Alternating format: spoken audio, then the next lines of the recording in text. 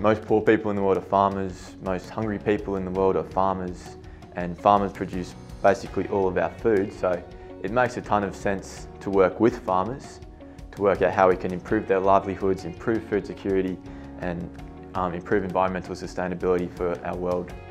Whether or not we realise that we are all part of that global food production system, so I think um, international agricultural research is really important for making sure that we produce that food in a way that's really sustainable, that has, leads to really efficient production practices in a whole range of different farming contexts around the world and ultimately ends up with high quality food uh, that's affordable for people all around the world. And there's also a lot of the population in the world that depends on agriculture as a livelihood. So really working to improve agriculture around the world has a lot of really interesting research questions to it and working to understand these things better can really make a huge difference to a lot of people's lives. The reason Asia is, has had this incredible boom in, in, in, it, in its economics, in its economic growth, is primarily because it has had stable food supplies for generations now, since the 1960s. There hasn't been a famine in Asia since the 1960s, and that was because of the Green Revolution. The Green Revolution was international agricultural development.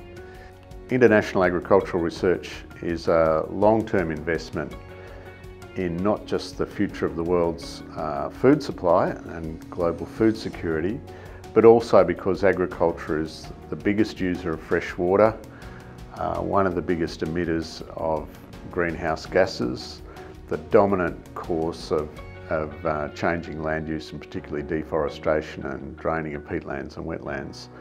Uh, it's absolutely fundamental that we get agriculture right. We should be a country that gives a lot. Yeah, and I think international agricultural research, Australians, are really recognised globally for their, their capacity in that area and I think we should really strive to continue to hold Australia at the very highest levels of international agricultural research.